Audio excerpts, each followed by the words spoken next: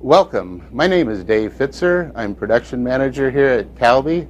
Um, shortly, we're going to bring you into the plant and show you how we make our products. That'd be the Snap Pea Crisp and shrimp flavored products.